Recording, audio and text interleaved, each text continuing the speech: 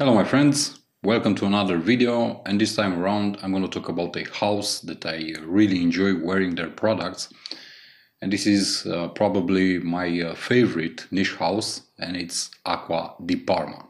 And in today's video I'm going to talk about one of my uh, favorite fragrances from this house and uh, from the Blue Mediterraneo line comes Mandorlo di Sicilia.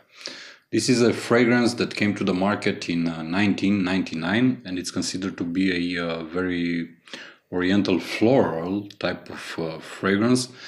But uh, to my nose, and uh, after wear wearing it for a couple of months, I can honestly say that uh, it's a lot more than that.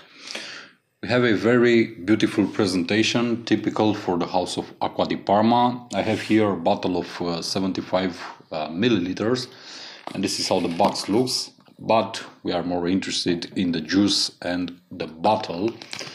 So really nice uh, presentation just like every single other uh, bottle in this uh, blue mediterranean lineup. Very beautiful blue glass. The cap although made out of plastic it uh, fits very secure on the bottle and the atomizer sprays a lot of juice covering a lot of surface.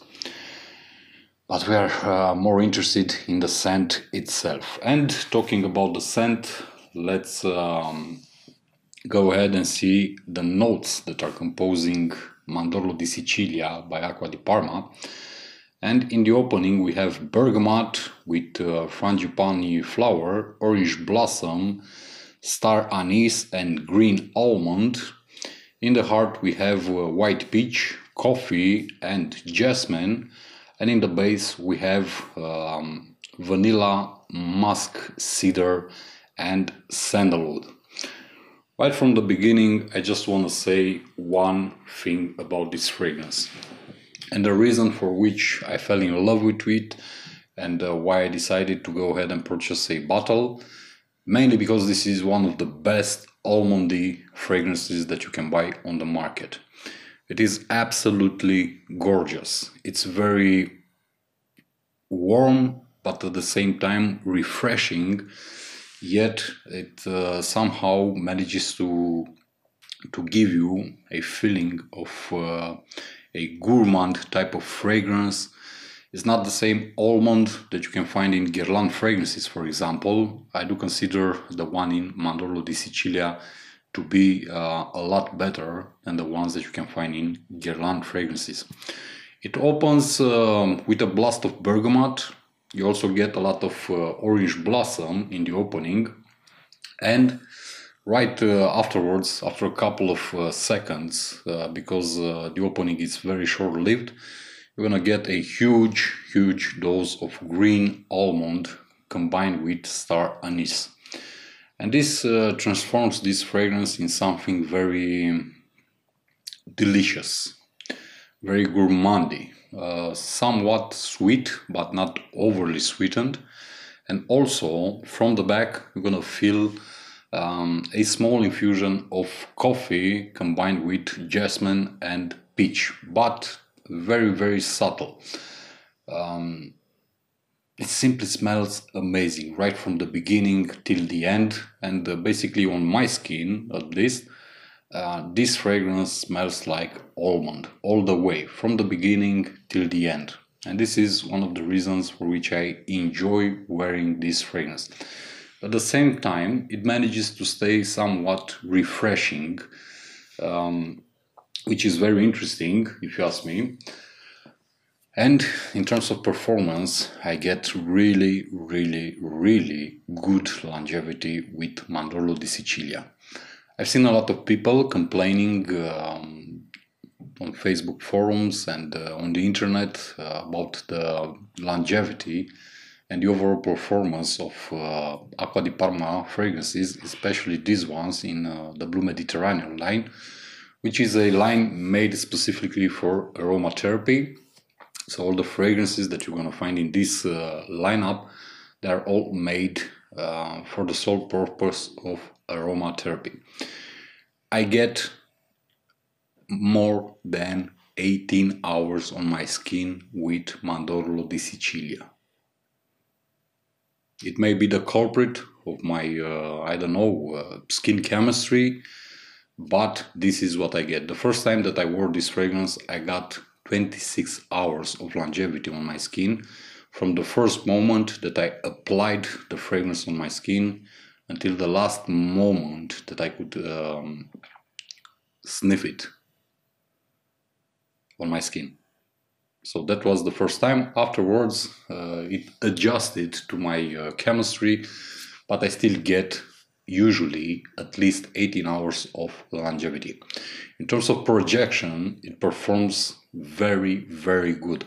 For the first uh, five hours, it performs very, very powerful. Afterwards, you're gonna get a six to seven hour, or at least that's what I'm getting, of uh, moderate projection, followed by about five hours of very weak projection and until the end you're gonna still uh, get some uh, whips around you uh, now and then. So very good performance if you ask me from Mandorlo di Sicilia, at least on my skin. I don't know what happens on uh, other people's skins, but I'm just gonna say what happens on my skin. Compliment getter, it smells really amazing, it's very relaxing, it's very comforting, it's very elegant. It's um, a bit of a mature type of scent, if you ask me. Uh, very nice to, to, to dress it up with a suit uh, when, uh, I don't know, uh, going to a formal meeting, to a business meeting.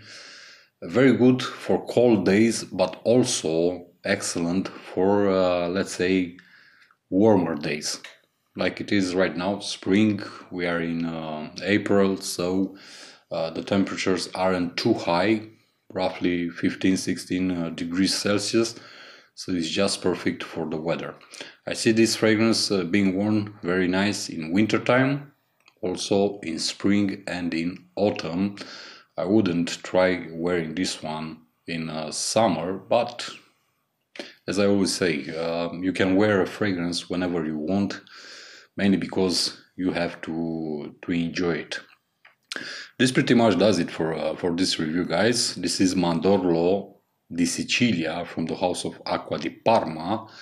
The lineup is called Blue Mediterraneo, and I highly encourage you to, to give these uh, fragrances a try, mainly because uh, they have some really, really nice fragrances in this lineup. Uh, Mandorlo di Sicilia is just one of them but you can also look out for Arancia di Capri, uh, Fico di Amalfi, Mirto di Panarea, uh, Cedro di Taormina. So they have uh, a lot of fragrances in this lineup that I'm uh, very sure that you're gonna enjoy them. Also do check out uh, the whole house because they make some other great fragrances from the Colonia lineup and also I highly encourage you to give it a try uh, to give a try to Colonia Mirra or Colonia Ebano, for example. Uh, those are those are something uh, really really spectacular also.